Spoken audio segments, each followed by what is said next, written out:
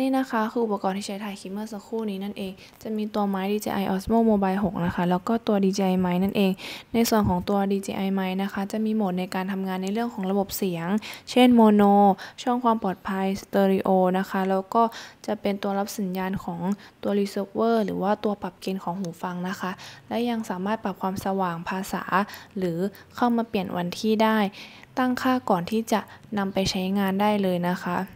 นะคะ สามารถใช้กับกล้องอินสตาและ GoPro ได้เลยแค่ใช้ร่วมกับอะแดปเตอร์ของมันนะคะ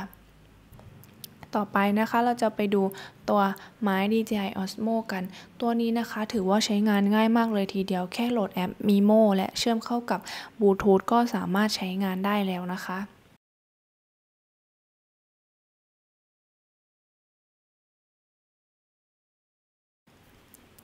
เราจะมาบอกโหมดหลักๆ ของตัวไม้ DJI Osmo ตัวนี้กันนะคะ ก็จะมี 4 โหมดหลักๆ เช่น โหมดล็อกการก้ม โหมด FPV หรือโหมด Spin Shot นะคะ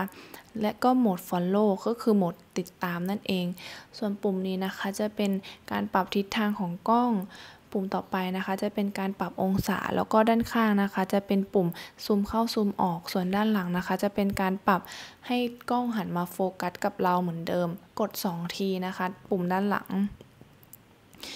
วันนี้นะคะเราจะมาใช้กล้อง iPhone 11 ในการถ่ายกัน โดยใช้อะแดปเตอร์ตัวนี้นะคะ เสียบเข้าไปให้แน่นนะคะ เพราะว่าถ้าเสียบไม่แน่น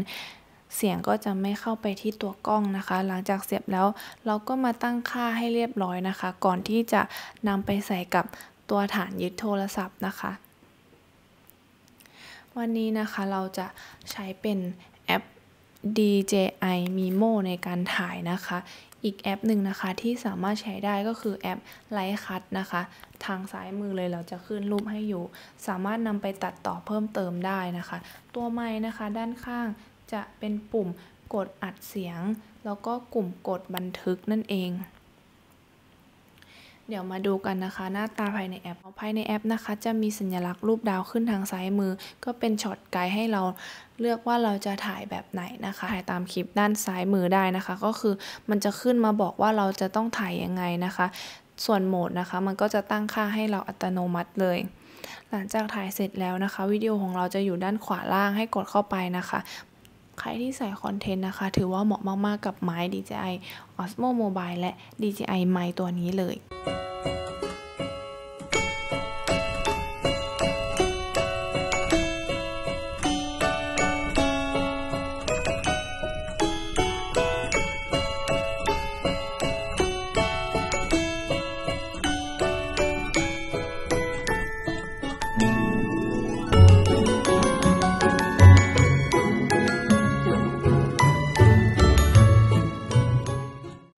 จุดเด่นของไม้ตัวนี้นะคะ ก็คือจะช่วยในเรื่องของการกันสั่น เดี๋ยวเราจะมาเปรียบเทียบภาพให้ดูนะคะ ระหว่างถ่ายกับ iPhone 11 แล้วก็ iPhone 11 ที่ใช้ร่วมกับไม้ Osmo Mobile 6 นะคะ ก็จะเห็นได้ชัดเลยว่าตัวกล้องที่ใช้ร่วมกับ My Osmo Mobile นะคะ ภาพก็จะออกมานิ่งกว่า แล้วก็สมูทมากกว่านั่นเอง ไม่ว่าจะถ่ายแบบเดินนะคะ หรือว่าจะถ่ายแบบหมุนองศากล้อง หรือจะถ่ายแบบวิ่งนะคะ ตัวไม้อาจจะช่วยในเรื่องของการลดการสั่นสะเทือนได้เยอะมากๆเลยทีเดียว แถมยังใช้งานง่ายมากๆด้วย You are what I waited for. Oh, you make me touch.